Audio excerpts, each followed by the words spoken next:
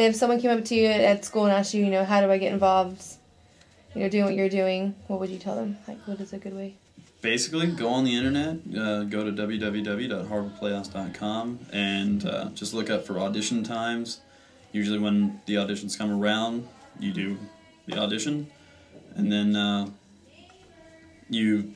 And if you want a tech, you usually just talk to one, either Mark Duncan or Joel or whoever's directing at the time, and just tell them, hey, I want to, you know, help with the show. You do your own makeup for cats, don't you? Mhm. Can you tell us a little bit about the makeup and how that works? Well, we got this little makeup kit from Joel, and it comes with black, white, and gold. And what, what is your cat name? Exotica. Wow.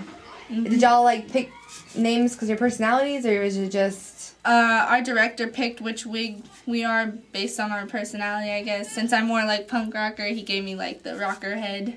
That's cool. So yeah. She's in full costume. hmm Exotica. That's cool. All right. Oh, I've done. I've been down at the Playhouse for probably like five or six years now, and done a lot of cool shows like Beauty and the Beast and Godspell and West Side Story, and now Cats, which is interesting. And what is your cat name? I'm Bustopher Jones. Is that your like- wig Yeah, there? this is my wig. He's like the cat about town. Uh, he's just this fat cat that waddles on stage and then like sings a song about all the things he's eaten in his life, and then waddles off stage. And this is your outfit here. You have. This is my outfit. It's it's pretty heavy.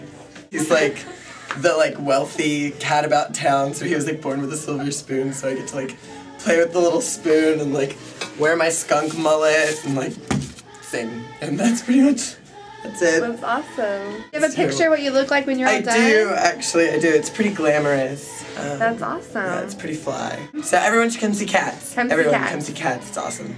Come to Grease auditions next week, Tuesday and Wednesday. Oh, that's right, Grease, Grease auditions. auditions. And on this next season, they're doing like Annie, The Sound of Music, So Music if anyone Man. wants to audition, they just come here. Yeah, you just come here, and it's just like you sing a few bars of music. It's really not that bad. There's a little dance just to make sure that you like don't have two left feet, which I do, so I'm not really that good of a dancer. Um, and then there's like a little reading, and it's fun. It's really.